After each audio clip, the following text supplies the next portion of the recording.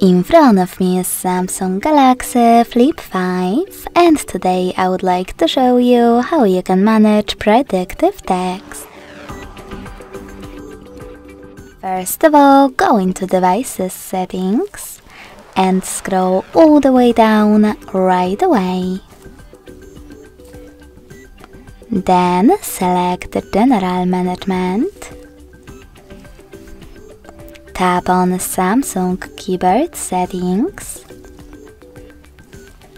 and tap on Predictive Text located under Smart Typing. Then, to manage it, tap on those two switchers to switch it off or on. Thanks so much for watching. If you enjoyed this video, don't forget to leave a like, comment and subscribe. Bye!